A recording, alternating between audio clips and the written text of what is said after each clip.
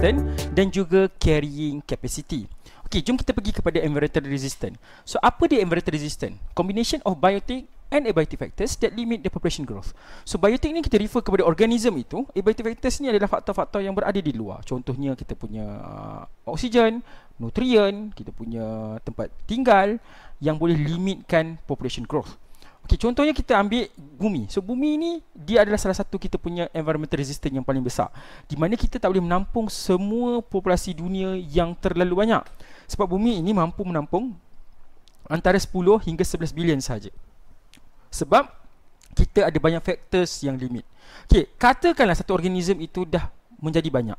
So kita akan jumpa kita punya environmental resistant di mana limiting resources kita akan berkurang. So bila berkurang, contohnya food, water, line, oxygen, space, kita akan limit kita punya population growth. So population growth kita kita tak akan bertambah di mana kita prevent organism itu daripada grow secara exponential daripada dia reach dia punya biotic potential. Ini yang kita maksudkan kepada environmental resistant di mana seterusnya kita nak bincangkan mengenai carrying capacity. So apa the carrying capacity ni? The maximum population size that can be sustained over relatively long period of time by particular environment. Ataupun secara simple adalah the maximum number of population size that environment environment can support. So satu number maksimum yang kita punya alam boleh tampung. Contoh kita bincangkan tadi, bumi 10 hingga 11 bilion. Ha, itu je lah yang dia mampu. Dia tak boleh lagi kita nak besarkan.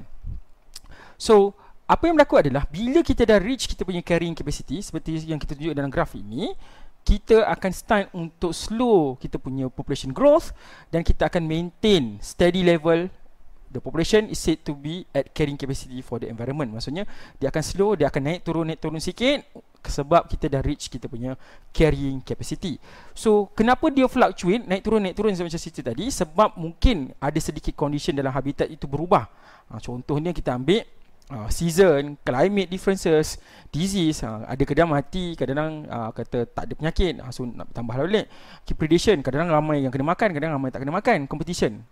So competition ni berebut, berebut mati ataupun tak berebut tak mati. Uh, so apa yang berlaku adalah population itu akan sentiasa berubah, berubah dan berubah di mana boleh tak kita increase kita punya carrying capacity? Ada idea? Sebenarnya bo boleh. Kenapa boleh? Sebab kalau kita nak increase kita punya carrying capacity, apa yang kita kena buat adalah kita mungkin cari resources baru ataupun kita besarkan kawasan kita ni, mungkin kita cari bumi yang kedua di mana kita boleh tambah population kita supaya jadi lebih banyak. Okay. So, jika carrying capacity ni accident, ha, kita mungkin kena cari tempat baru ataupun kita kena adapt dengan new level of consumption. Maksudnya mungkin makan sedikit tak boleh makan banyak macam kita biasa makan. Okey, itu saja daripada saya. Sekian. Assalamualaikum warahmatullahi wabarakatuh dan salam sejahtera.